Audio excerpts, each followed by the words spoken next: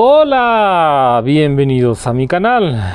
Yo soy Chuchito Jardinero. Hoy quiero que me acompañes a curar este hermoso geranio porque tiene un ataque de cochinilla algodonosa. Hoy te voy a dar mis mejores tips para eliminar cochinilla algodonosa de tus geranios. Bueno amigos, este geranio se ha contagiado de la cochinilla algodonosa por culpa de las hormigas. Las hormigas que por cierto ya estuve eliminando los nidos. Son, son insectos que suelen lastimar nuestras cochinillas algodonosas muy rápidamente. Para las hormigas vamos a estar utilizando un tratamiento para que las hormigas no vengan a este geranio. Voy a estar utilizando este producto que se llama Hormidel que es muy bueno contra las hormigas, hormiga, gallina ciega e incluso cochinilla algodonosa. Entonces, pues tiene un efecto muy bueno contra estos insectos. Voy a estar colocando una pizquita alrededor de estos geranios para que las hormigas y esos insectos no se acerquen. Le vamos a colocar unas pizquitas, tres pizquitas para una maceta grande. Y cuando nosotros reguemos, pues todo ese eh, producto va a entrar hasta las raíces eliminando esas plagas tan indeseadas. Es bien importante que realices este paso para que las hormigas no vengan y nos vengan a traer cochinilla algodonosa. Ahora sí, ¿qué vamos a hacer? Vamos a estar podando este geranio, primero más que nada, siempre se podan los geranios. Yo les voy a hacer una poda fuerte y todo lo que esté mal lo vamos a ir eliminando. También, si hay geranios que están secos, pues cortarlos definitivamente. Este geranio la verdad es que ya está muy tocado. Amigos, recuerda que los geranios son plantas muy sensibles, muy delicadas. Las nuevas variedades son bastante delicaditas, ¿no? Entonces vamos a ir cortando todo lo que esté seco, todo lo que ya no sirva de este geranio, que también tiene mucha hojita seca. Esta hoja es normal que se seque porque no lo habíamos podado. También quería que vieras cómo realizamos la poda. Todas las hojas secas las vamos a quitar. Las hojas que también estén contagiadas o contaminadas de cochinilla algodonosa también las vamos a ir eliminando.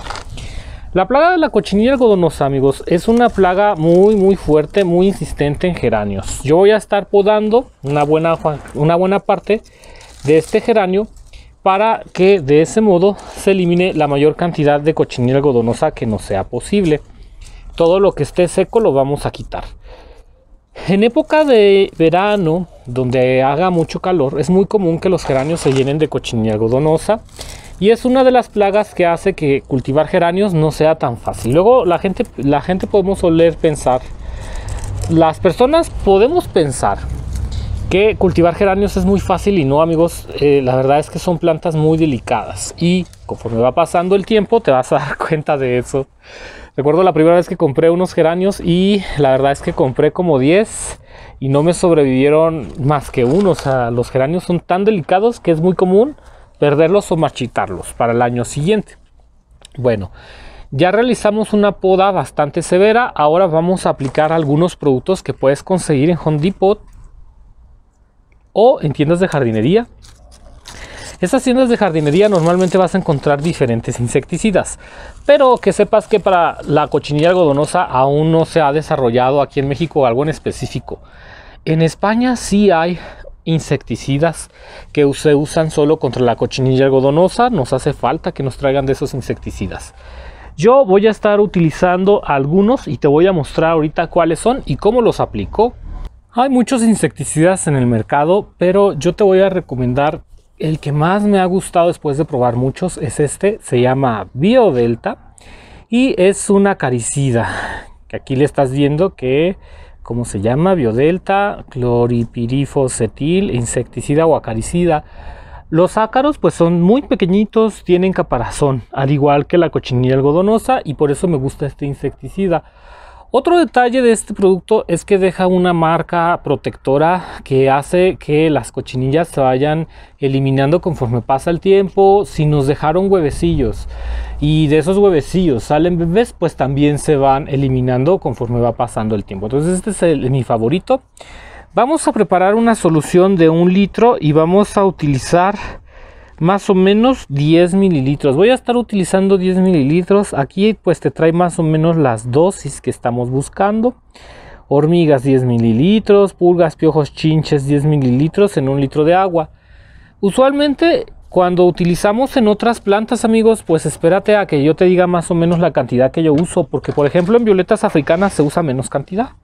Pero como esto es un geranio, vamos a estar aplicando 10 mililitros, es decir, que vamos a aplicar una dosis este, normal, digámoslo así.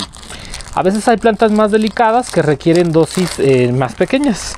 Voy a estar utilizando una jeringuita como esta para poder medir los 10 mililitros. Es bien importante que tengas tu jeringa porque si lo haces al tanteo esto no se puede hacer.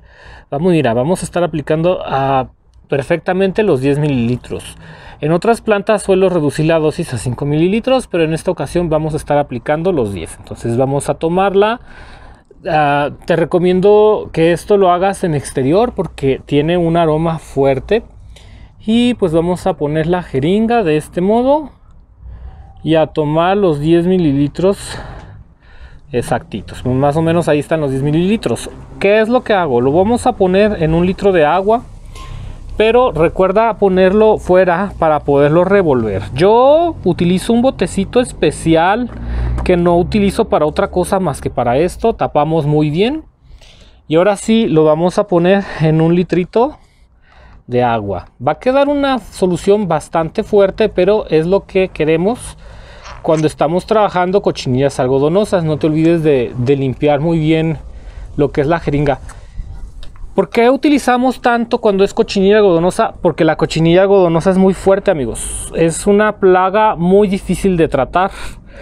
Por eso ya eliminé todas las hormigas del jardín. Yo sé que hay mucha gente que es naturalista y que te dice no elimines las hormigas, pero los jardineros no podemos convivir con las hormigas en nuestro jardín porque nos hacen estragos. Lo voy a revolver con un palito de madera, amigos. Es bien importante que sea de madera porque la madera no reacciona con los, los ingredientes del insecticida. Si tú usas una cuchara de metal o algo de metal, a veces hace reacción. Entonces de preferencia siempre usamos un palito alargado de madera. Estos son mis instrumentos que tengo cuidado de no utilizarlos en otras cosas más que para esto. De hecho, si lo puedes etiquetar o poner en un lugar en donde no se acerque nadie, los niños, los animalitos, mucho mejor. Y te va a quedar un insecticida muy fuerte como este.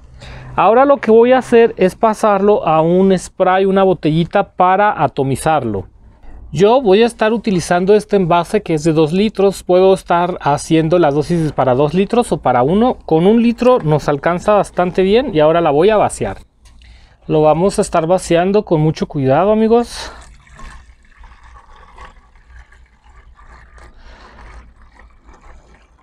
Y en mi caso lo estoy utilizando un fumigador a base de aire.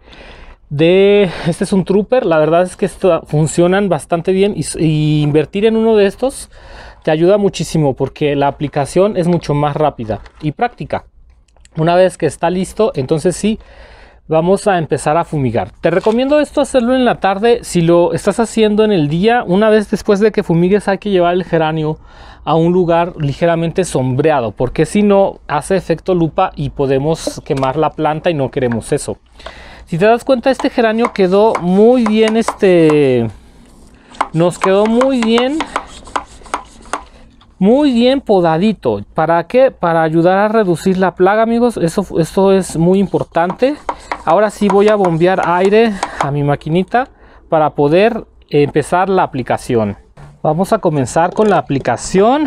Vamos a empapar muy bien lo que son las hojas y también lo que es el tallo de la planta. Esta aplicación la verdad es que es bastante fuerte, digámoslo en ese sentido y vamos a estar aplicando en todas las hojas. También vamos a aplicar en lo que son los tallos. Para qué para eliminar la mayor cantidad de cochinillas que podamos en esta primera aplicación. Este, esta aplicación no se enjuaga amigos. La vamos a dejar así en tu jardín en un lugar sombreado. Como ya te mencionaba eh, tratar de evitar que le dé el sol. Y mojar muy bien lo que es eh, también el en vez de las hojas y sobre todo los tallos. De todas maneras, créeme que al haber podado el geranio nos estamos eh, ahorrando que la cochinilla sea potente. La verdad que la poda ayuda mucho y ya con, este, con estos insecticidas controlamos lo que fue la hormiga y también vamos a controlar la cochinilla algodonosa. Como la dosis pues es aplicar bastante, ya dijimos 10 mililitros en un litro de agua.